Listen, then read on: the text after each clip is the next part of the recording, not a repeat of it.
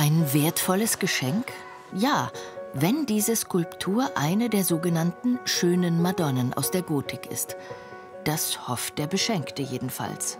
Die fällt ja unter den schönen Madonnen um 1500 voraussichtlich, wenn ich richtig liege. Ah, und da sind Sie sich nicht ganz sicher. Ja, das wollte ich eigentlich noch mal bestätigt haben. Ich habe auch schon geliebäugelt mit der Nürnberger Schule, aber es gibt so viele Madonnen und so viele Faltenwürfe, die ähnlich aussehen. Ja, da bin ich mir einfach nicht sicher. Ja, ja, Kunst studiert. Ah, sehr Kunst studiert. Dann können Sie ja alle Fragen beantworten, wenn Sie No. Kunst...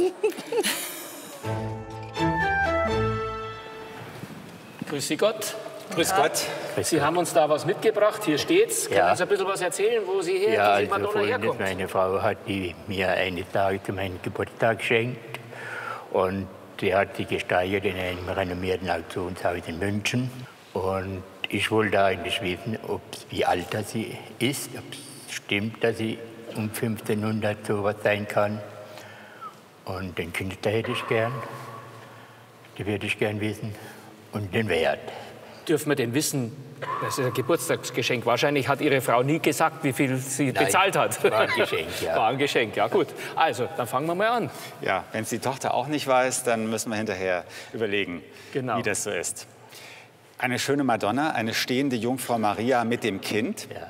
gekrönt, ein ovales Gesicht, ähm, ganz majestätisch mit gespitzten Lippen, ganz äh, schmaler Nase. Und sie trägt auf ihrem rechten Arm das Jesusknäblein, ein kecker Knabe, ganz nackt, mit lockerem Kopf.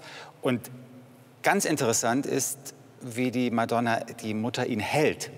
Sie greift nämlich einmal mit einer Hand unter sein Gesäß und mit der anderen umgreift sie seinen Bauch so, dass man die Scham nicht sieht. Ein nackter Knabe, der aber nicht despektierlich daherkommt, der Gottessohn, das hat sich der Künstler ausgedacht. Der Knabe legt auch die Beine übereinander, also ganz spannungsvoll, und dann fällt unter diesen Füßen, die da in der Luft schweben, dieses Gewand, geteilt in Mantel und Kleid, in großen Falten nach unten und bildet hier etwas kantige Falten, die einen wunderbaren Faltenbausch ausmachen. Das ist ein Stil, der uns in die Zeit um 1500 führt, gar keine Frage. Und wir haben es hier auch mit einem Knaben zu tun, der so wie er sitzt daran erinnert, dass dieser Meister vielleicht ähm, mal gesehen hat, wie Veit Stoß, der Nürnberger, der große Nürnberger Meister, seine Knaben auf die Arme der Jungfrau Maria setzt. Mit Veit Stoß hat es relativ wenig zu tun, sondern das ist jemand, der in Franken gearbeitet hat. So ist es. Im Grunde würde ich mal sagen, kann man an der Figur wirklich feststellen, dass dieser Meister durchaus schon gewusst hat, wie man als guter Meister arbeiten muss. Man sieht es zum Beispiel, wie wunderbar eigentlich das Gesicht geschnitten ist. Was man aber feststellen muss, dass das Gesicht ein bisschen verfälscht aussieht, weil wir in der Farbe oder sagen wir mal, weil die Farbe eigentlich nicht mehr original ist, sondern sie ist schon mehrmals übermalt worden und hat schon verschiedene äh, Farbgebungen hinter sich und deswegen ist es nicht mehr ganz so einfach, die originale Gesichtsform zu lesen. Also im Grunde ein wunderbares Beispiel der fränkischen Zeit um 1500. Genau.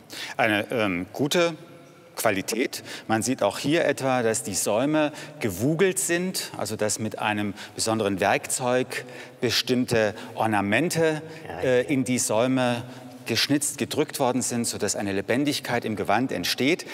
Aber wenn man ganz genau hinschaut, dann sieht man nicht nur, dass die Farbfassung überarbeitet ist, was bei einem so alten Stück kein Wunder ist, sondern das sieht man vielleicht sogar noch mehr. Vielleicht darf ich mal herumgehen und die Figur mal drehen, um Ihnen das mal genauer zu zeigen. Das sieht man von hinten, dass die Figur gehöhlt ist. Gehöhlt ist sie deshalb, damit man den Kern herausmachen kann, damit die Figur nicht nach vorne hin reißt. Wenn wir jetzt nach oben hinschauen, wir, wir sehen, dass überall lauter Wurm, Wurmfraß. Und man sieht auch hier an den Rändern, dass das schon das Holz sehr brüchig geworden ist, weil die Würmer weitgehend alles schon aufgefressen haben. Jedes Wurmloch ist im Übrigen repräsentativ für einen einzigen Käfer. Das ist nämlich ein sogenanntes Ausflugsloch. Man muss nicht meinen, dass das immer der Gräbewurm war. Und jetzt gehen wir ein bisschen weiter runter und dann sehen wir auf einmal hier eine Stoßkante. Ja? Sie sehen hier eine Linie und dann hört darunter der Wurmfraß auf. Das ist ein eindeutiges Zeichen dafür, dass diese Figur im unteren Bereich noch viel mehr Wurmfraß hatte und das ist im Prinzip kaputt gegangen. Und dann hat man sie zu einer späteren Zeit diesen unteren Bereich erneuert, erneuert und ergänzt. Und wenn man jetzt das nach, wieder nach vorne dreht, dann sieht man, dass die Farbgebung im Grunde von oben bis unten, zumindest ab diesem Bereich, durchläuft. Das bedeutet, das kann noch nicht so lange her sein, dass diese Farbe im Großen und Ganzen aufgetragen worden ist. Deswegen ist es auch schwierig zu sehen, wie gut die im Zustand ist, weil man ja nie weiß, wie der Wurmfraß sich durchgesetzt hat. Jetzt müssen wir uns im Großen und Ganzen um die, die Wertigkeit kümmern.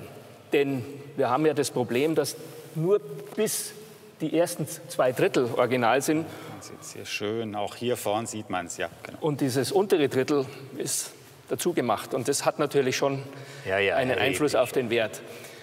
In, wir müssen auch sagen, dass die Krone oben zwar in der Form stimmig ist, aber mit Sicherheit nicht original ist und diese Vergoldung da oben. Das ist vielleicht sogar noch später drangekommen wie, wie der Rest. Also ich würde ein, eine Bewertung von 2.000 bis 3.000 Euro ja. annehmen wollen. Es ist schön, dass Sie es uns gezeigt haben. Ja.